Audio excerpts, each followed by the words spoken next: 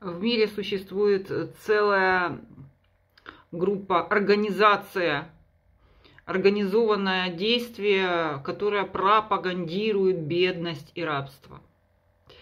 Э, со всех сторон на нас льются какие-то псевдоистории, снимаются фильмы, поются песни. И для народа Валенки, валенки не подшиты старенькие. Ну, кто знает еще, может быть, да, и была такая певица Русланова, которая любила собирать бриллианты. У нее была огромная коллекция, за которую ее потом посадили. А, вот она пела, и очень люди очень любили эту песню. Им казалось, что она такая родная, близкая. На самом деле она деньги очень любила и обладала огромным богатством. И это осталось так и до сих пор. Откройте вот клип Деспасито. Что там? Там прекрасная музыка, прекрасный исполнитель. Ну что там пропагандируется, что какие веселые, какие радостные, здоровые, э, сексуальные, бедные люди и какой-то нищий квартал. Таких клипов полно. А, для чего это создано?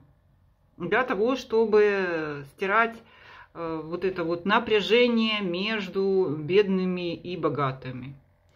Еще один прием для чего-то, чтобы людей от, отводить глаза, чтобы они не думали о том, что надо что-то менять в экономической системе, менять, бороться за какие-то богатства, отстаивать свои права.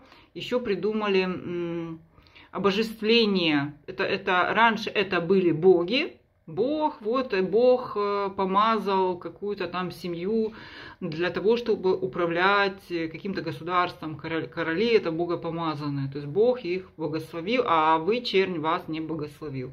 И на это опирается и сейчас, только сейчас эти боги это ну, какие-то ну, те же бренды, да, что такое? О, вот Dior, что, что такое Dior? Ну, это обычный, это бренд, который использует э, привычки людей, э, их слабости э, и умеет хорошо продавать э, свои услуги скучающим, там, богатым людям, которые удовлетворяют их вкусы, их э, представление о том, что должно быть дорого, а то, что их достойно.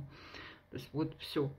Это но при этом э, создается такой миф о том, что вот это бренд, что-то такое возвышенное. То есть идет пропаганда с разных сторон. То есть, э, что бренд это для каких-то очень